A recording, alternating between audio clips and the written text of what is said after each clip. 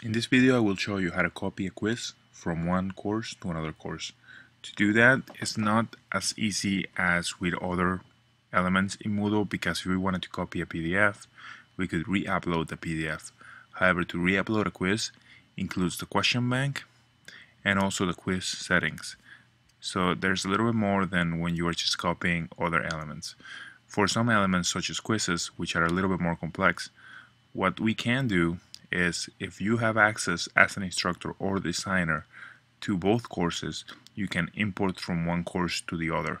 So in this case, I am in 8842, Stacy Remke, and I am going to copy a quiz from 8842 from Linda Jones. The quiz is in section 2, September 12th, and all I really want to copy is quiz 1. To do that, I'll go into Stacy Remke's course and I'll click import on the settings panel. After that we need to search for the course.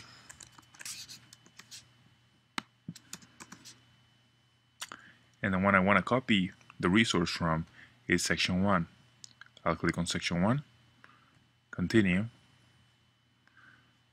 leave all those marked,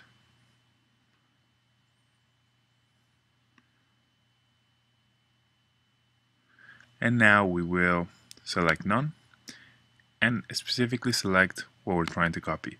All we really want to copy is quiz 1 so we click there click quiz 1 that's all we want to copy. We'll double check. Click next.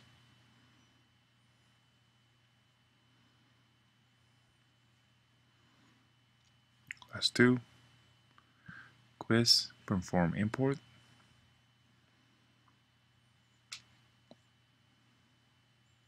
Great, import completed.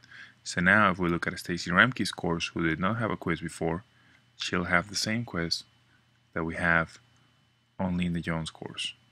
You can test that quiz by clicking on it and previewing it. But if we just see the settings, let's just open up this one as well. That's great. Up to September 18. Preview quiz. Yes. 10 questions, 30 minutes.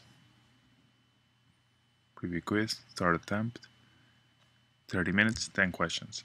So they are, I'm not going to check it all now, but they, the system pretty much did a carbon copy of an identical copy of the quiz. So both quizzes should be identical.